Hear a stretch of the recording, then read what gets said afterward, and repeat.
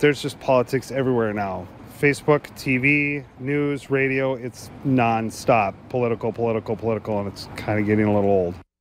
Campaigns are now coming to you from your pocket. Local candidates and ballot measures are texting people to drum up support ahead of the midterm elections. Voters say the messages are unwanted, but Valley News Team's Veronica Marshall finds out turning them off isn't so easy just days away from the midterm elections, and people are frustrated with all of the political propaganda. And there's one method in particular that everyone agrees crosses the line. If I didn't sign up for it, no, I don't want your political ads on my phone. They're annoying because I'm working and I don't need that kind of stuff on my phone. It's already coming through social media, so I think it's a little bit much. From local candidates to measures on the ballot, unwanted political texts are going out. And while they may be unwelcome, they are usually completely legal. Generally, any opt out or don't call me or any of those things don't apply to political campaigns.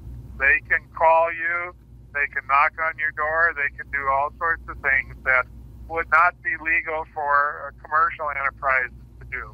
Minnesota's Secretary of State says by law, it's required to make a public information voter list available for political activities and elections. And if someone includes their cell phone number when they register to vote, that number goes on the list too. Experts say if voters try to legally stop campaigns from texting, they'll probably lose. I do not remember any law that specifically prohibits texting. And if there was one, it would probably be thrown out as a infringement of free speech. But even though the law is on their side, local voters say campaigns may want to pause before they hit send. If I was on the fence and I got a text from someone and I hadn't asked for it, I probably would. That would put me to the other side of the fence. In Fargo, Veronica Marshall, Valley News Live.